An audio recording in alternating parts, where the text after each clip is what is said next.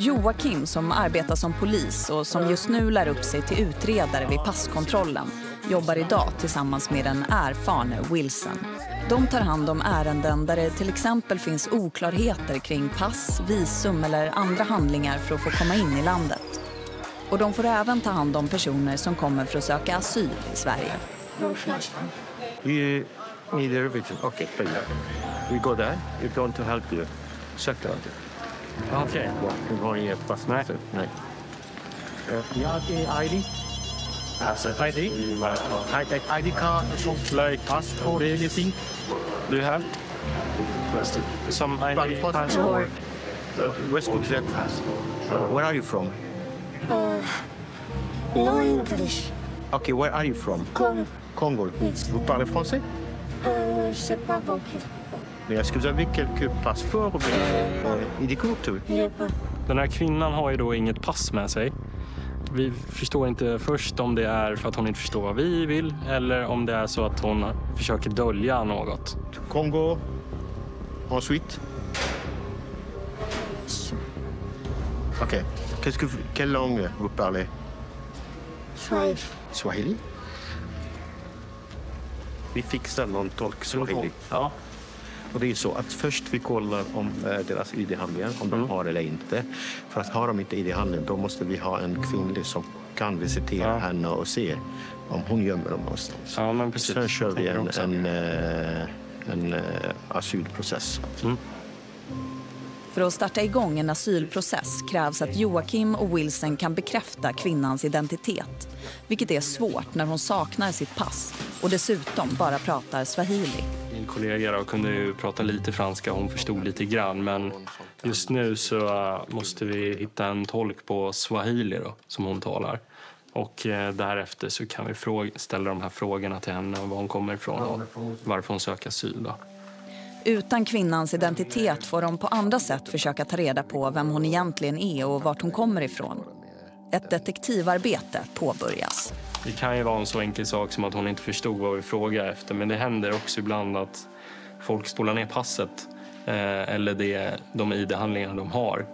Eh, för beroende på var de kommer ifrån så kan det finnas en större chans att de får asyl. Ja, och eh, har de inga ID-handlingar så måste vi utreda vidare och tar lite längre tid. Jag tror att hon gömde sig i toaletterna. Hon kommer då säkert. Oh. Ja. Okay. Får se om hon... Om, jag tror inte det fanns något. Addis har den kommit. För den skulle väl komma vid sextiden va? Ja.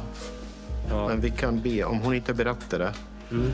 kan vi be någon kollega som kollar på kamerorna. Vart kom hon från? Vilket flyg? Så för att fastställa. Ja, men precis. Anledningen till att vi kollar i kamerorna det är för att veta vilket flyg hon faktiskt kommer ifrån. Eh, så att vi kan bakspåra om vi, om vi har sett att hon har gått in på toaletterna eller om hon har gått fel eller var hon nu kommer ifrån. Ja, det tycks ju märkligt att man eh, kommer till ett land och söker skydd och sen har man inga handlingar som visar på vem man är. Och då börjar vi också fundera. Eh, vem kan det här vara och varför har hon inte med sig några ID-handlingar?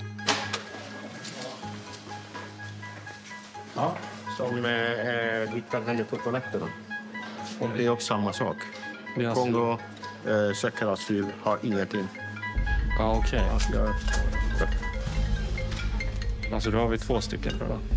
Nu är det ju två kvinnor och eh, de verkar som att de känner varandra. Eh, så vi misstänker att de har gjort det här tillsammans. jag, jag gick in så såg jag den andra.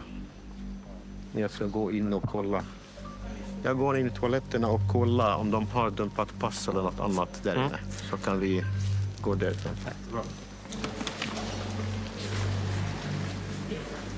Vi vet att hon har varit inne på toaletten med en annan person en bra stund innan vi kommer dit.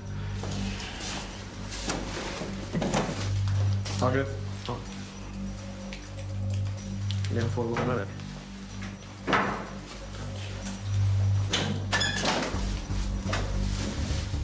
Det händer ganska ofta att de eh, försöker klippa sönder de här passen och spola ner dem eller slänga dem någonstans.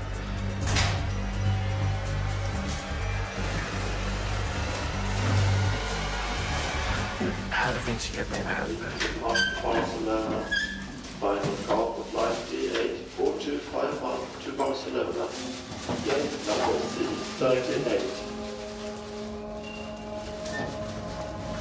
Keep it accurate on the också.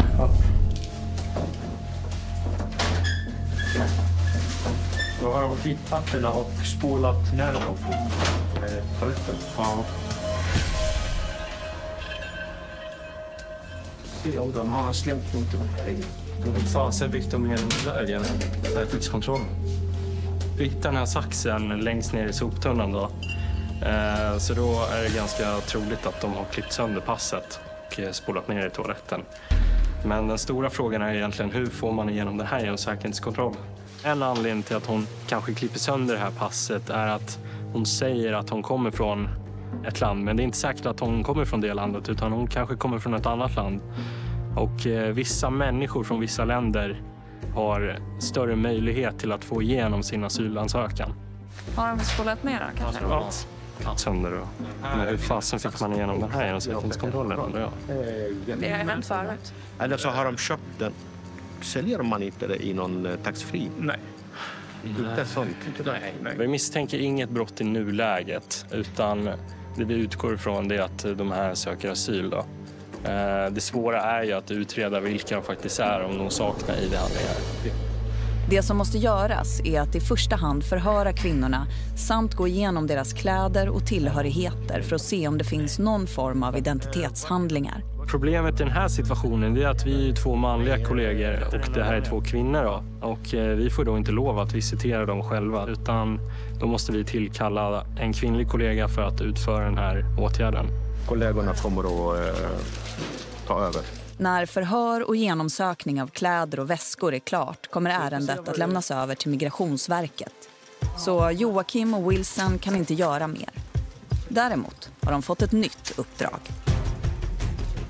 Vi får ju ett annat jobb då, att man har eh, påträffat en ung man eh, som är efterlyst. Så att det var ganska viktigt att vi tog oss dit. Nu gäller det för Joakim att snabbast möjligt ta sig igenom terminalerna till det nya uppdraget. Just det.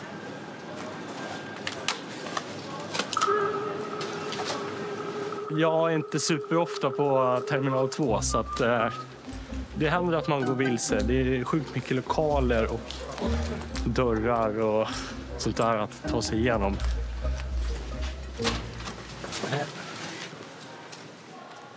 Vad fan var inte det här?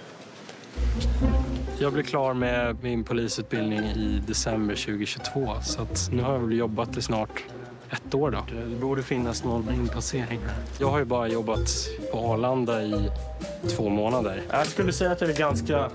Ja, det har ett förhörsrum så att, eh, nu är vi verkligen ute och cyklar här. Ja, alltså jag tänkte att jag hade ganska bra lokalsinne innan jag kom hit men eh, då inser man ju att eh, det är ganska svårt att lära sig hitta på en, på en sån här stor flygplats. Det är dörrar överallt och slussar och det ser likadant ut var man än är i princip. Men eh, det, det känns lite märkligt. Det, det är mig folk brukar fråga när de är vilse så att eh, när jag är i den positionen så ja, nej, men vi får se helt enkelt vart, eh, vart vi hamnar. Uh, är det plan två eller plan tre? Kom. Ja, men det är uppfattat. Ja, det var varken plan två eller tre utan det är tydligen plan fyra vi ska till. Så att, uh, det finns nämligen inga skyltar heller om man är på fel ställe. Så att, det känns ju som att det här är rätt. Vi sa ju... Vi sa ju faktiskt plan fyra. Det var.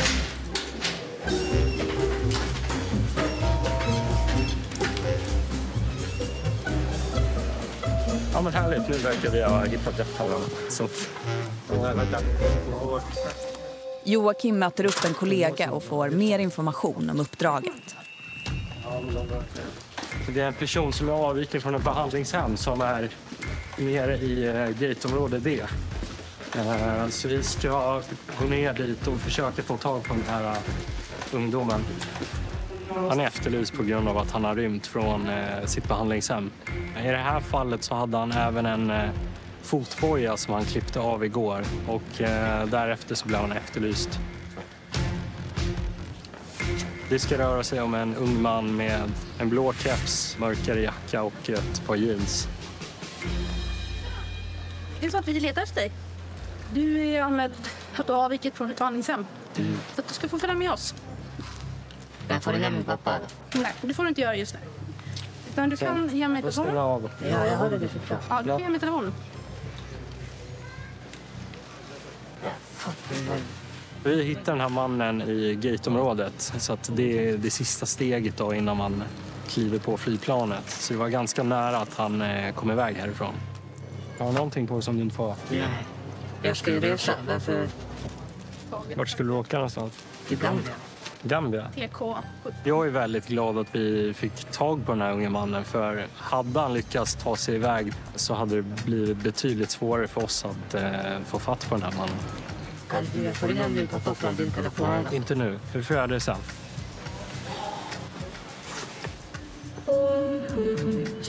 Vad är det ni ska köra mig till någon adress? Nej, den enda infon jag har det är att du avviker från ett behandlingshem. Vilket? Är det?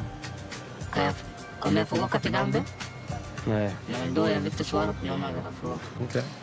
Det intrycket jag får av mannen är att han är ganska tom i blicken eh, och frågasätter vad vi gör där. Vart är det du bor någonstans? Vadå? Vart är det du bor någonstans? Det vet jag. Men ändå kan komma och hämta mig Jag frågar dig, jag vet inte vart du är. Jag bor, jag blir inte hos min pappa. Bra. Vi kommer passera in här igen. Vart ska jag bli tagen någonstans? Det, vi kommer ringa ett samtal. Eh, Jag upplever ändå att eh, han är ganska medgörlig. Eh, Han berättar att han inte vill bli inlåst. Men kan ni försöka få reda på vart jag kommer bli faller fram med Vet du, den informationen kommer komma till dig tids nog ändå. Men jag har inte mer information just nu än vad du har. Det som kommer hända med den här mannen nu då, det är att han eh, kommer åka till eh, ett behandlingshem